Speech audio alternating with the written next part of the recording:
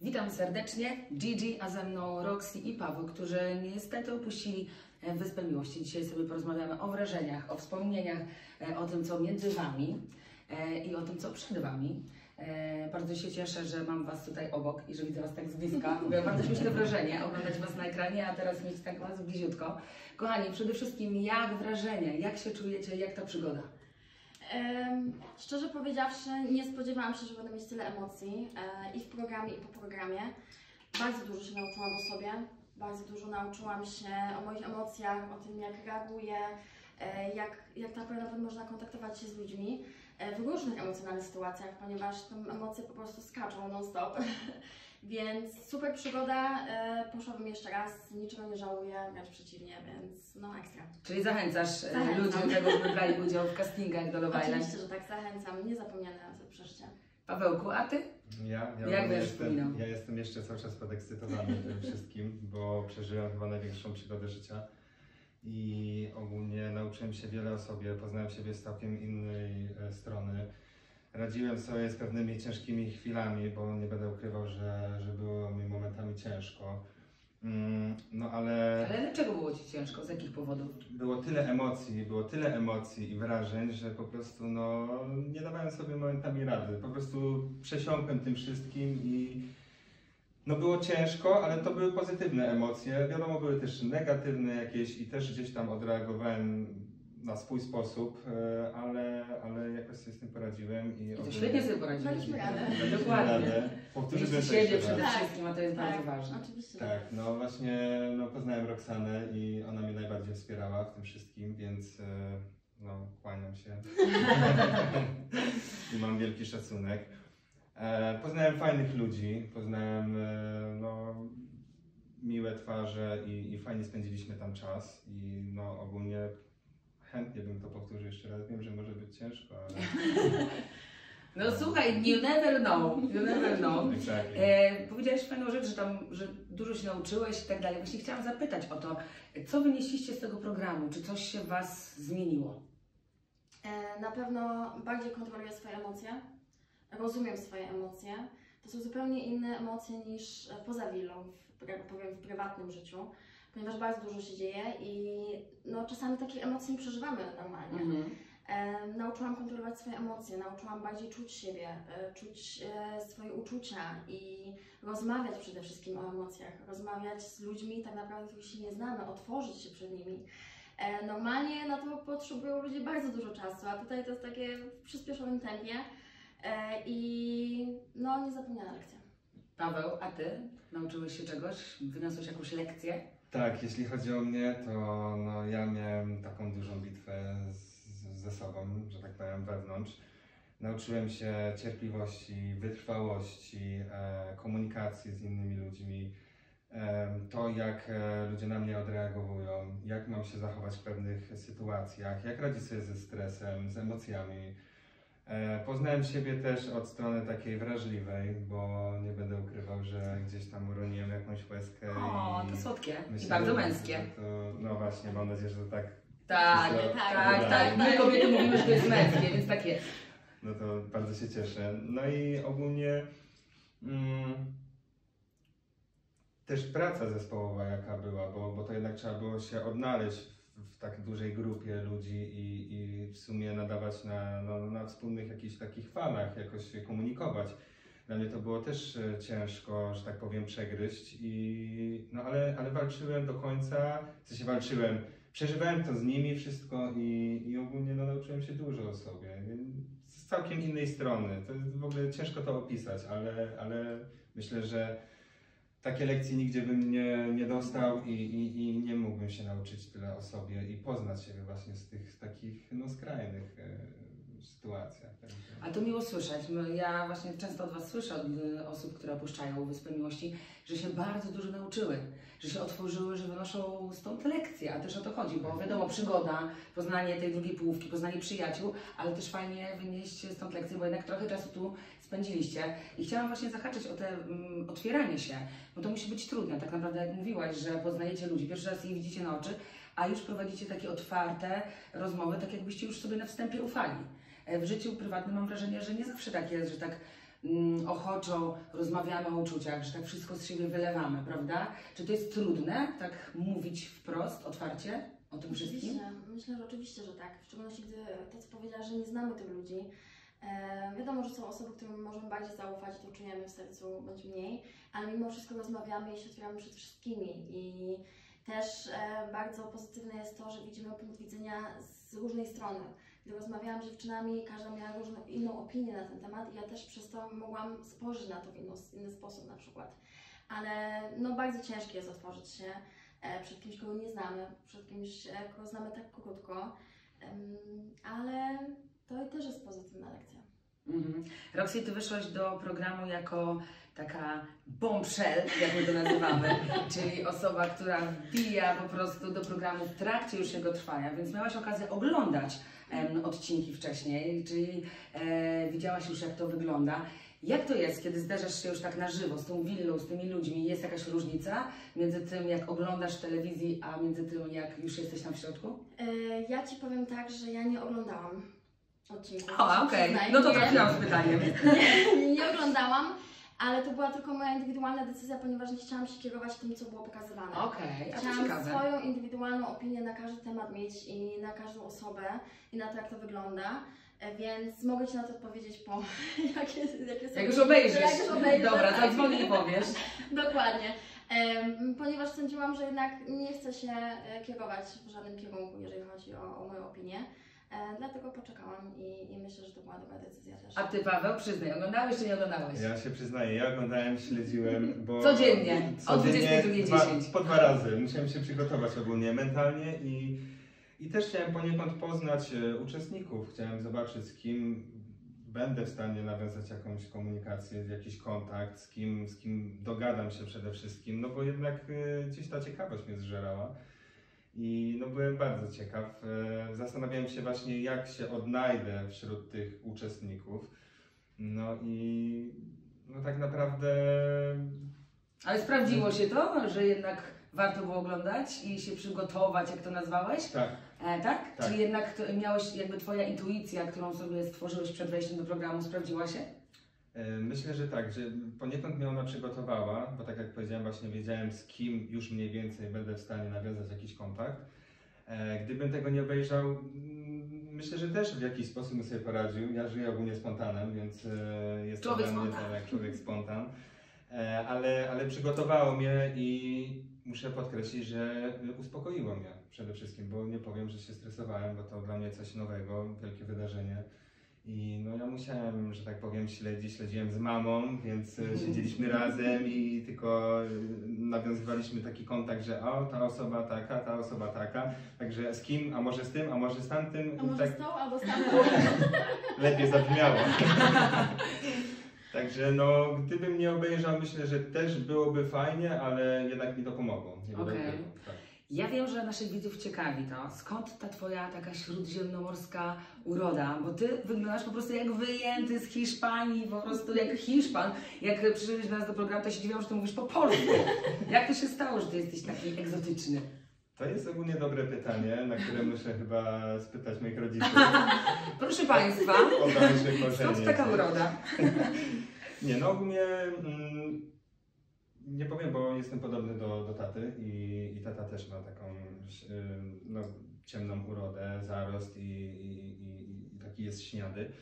E, tak naprawdę, no nie wiem, no chyba rodzice się Tak postarali i Bardzo się postarali. dobry gen. Potwierdzamy, Dobry bardzo się postarali.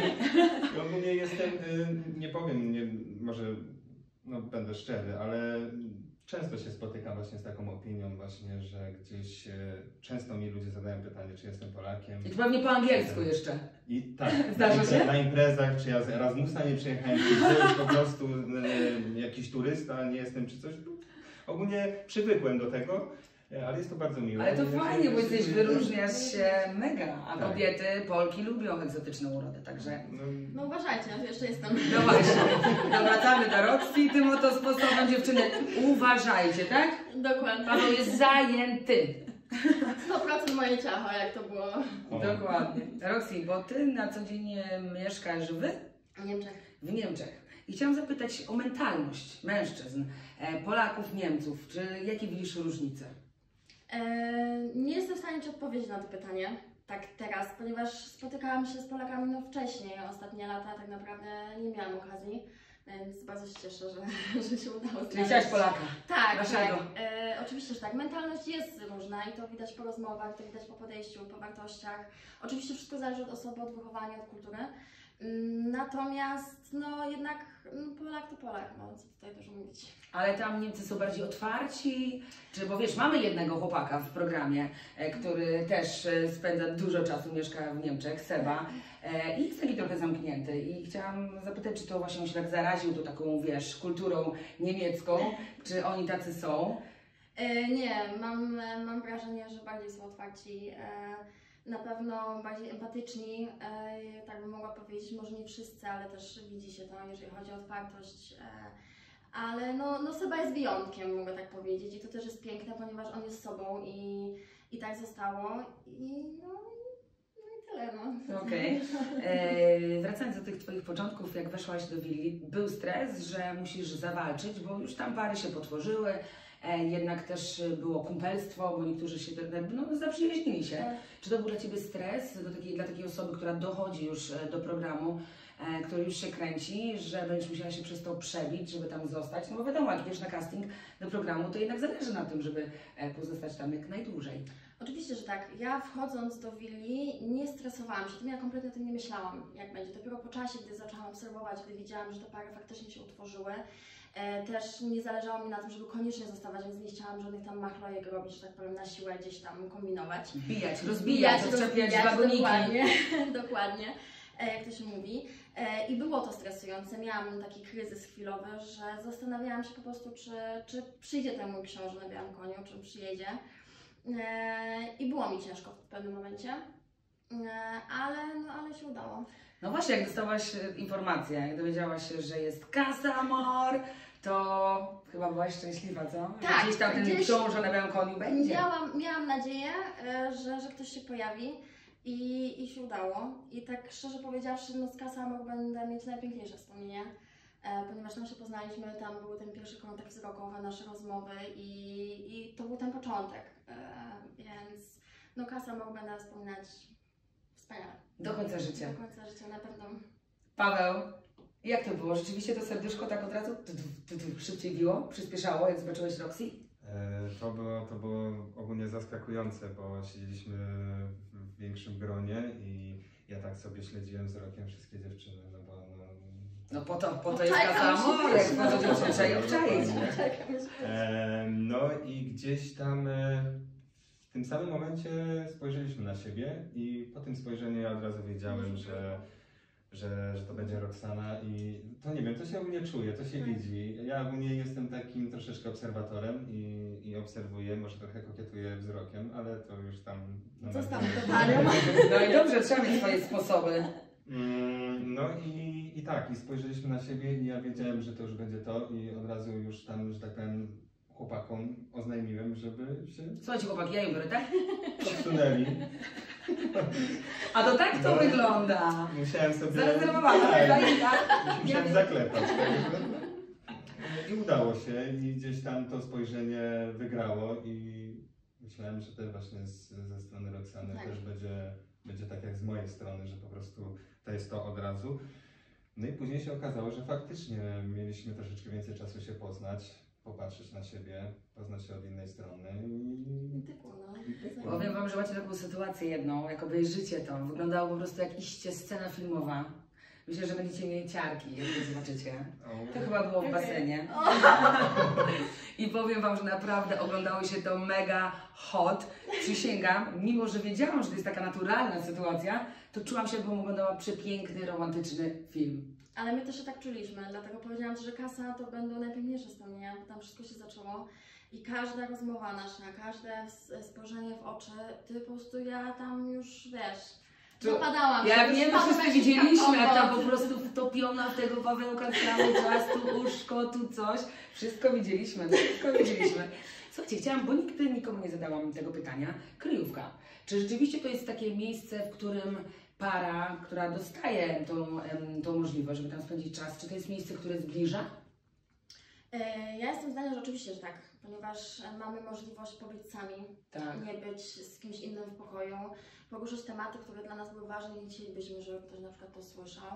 E, No i jest ta bliskość, jest ta intymność, więc jest, e, na pewno jest to możliwość i sposobność, żeby się zbliżyć do drugiego. Czyli taka możliwość właśnie, żeby bliżej, się poznać, sam na sam, intymnie. No właśnie, bo tak jak zawsze podkreślałam, kryjówka, drodzy Państwo, u nas to nie jest miejsce jakby stricte po... Nie, nie, nie. Nie, tylko po to, żeby się właśnie e, bliżej poznać i żeby porozmawiać sam na sam. Ale wracając do tej waszej takiej sypialni, gdzie śpicie jak prawie na koniach, też jest fajnie. Jak to jest, kiedy obok, dosłownie obok, śpi tyle osób? No to, no, Tu ktoś chrapie, tu ktoś się jeszcze cmoka, tu ktoś... no, no właśnie, no właśnie, odnośnie tego cmokania i, i, i tych szeptów. Yy, nie przeszkadzało mi to na samym początku, ale, ale później nie mogłem się skoncentrować na Roxanie i ogólnie gdzieś tam słyszałem mm, gdzieś tam jakieś szepty. E, Jest to ogólnie, nie powiem, bo delikatnie, mm, może nie stresujące, ale no Rozpraszające. rozpraszające I, i nie powiem, że gdzieś tam człowiek chce się skupić tylko na jednej osobie, chce tylko z nią rozmawiać, a gdzieś tam słychać jak tam Tam mlaska, I tak to że do- człowiek też, też usłyszy, co tam gadają. tam ktoś nie? robi Pod- ochotę, pod tam... Tam kołudra do góry leci. A tu tego nie widzieliśmy, to nie wiedziałam, nie wiem, co się stało.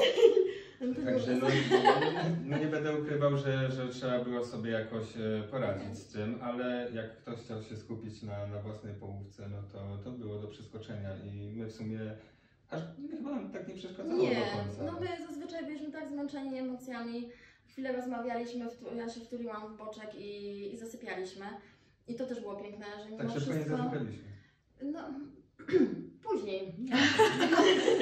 O, nie słyszałam, nie słyszałam. No, dobra, ja już dalej wnikać nie będę, to już pozostawiam Wam, co tam się dzieje pod tymi kołderkami.